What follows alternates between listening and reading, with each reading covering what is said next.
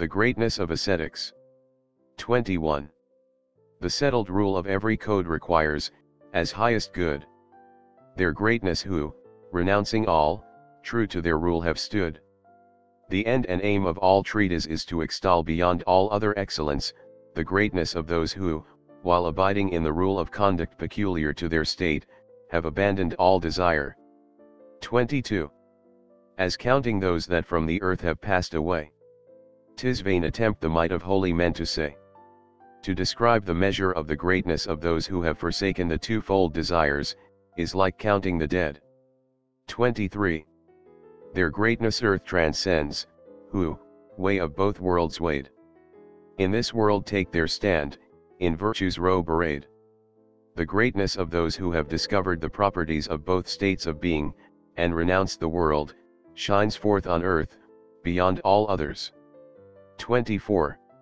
He, who with firmness, curb the five restrains is seed for soil of yonder happy plains. He who guides his five senses by the hook of wisdom will be a seed in the world of heaven. 25. Their might who have destroyed the five, shall soothly tell. Indra, the lord of those in heaven's wide realms that dwell. Indra, the king of the inhabitants of the spacious heaven, is himself, a sufficient proof of the strength of him who has subdued his five senses. 26. Things hard in the doing will great men do. Things hard in the doing the mean eschew. The great will do those things which is difficult to be done, but the mean cannot do them. 27. Taste, light, touch, sound, and smell, who knows the way?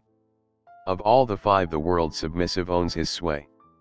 The world is within the knowledge of him who knows the properties of taste, sight, touch, hearing, and smell. 28. The might of men whose word is never vain. The secret word shall to the earth proclaim. The hidden words of the men whose words are full of effect, will shew their greatness to the world. 29.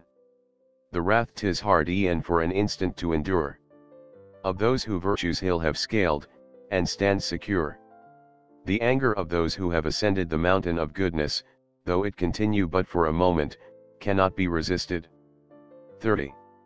Towards all that breathe, with seemly graciousness adorned they live. And thus to virtue's sons the name of Anthanar men give.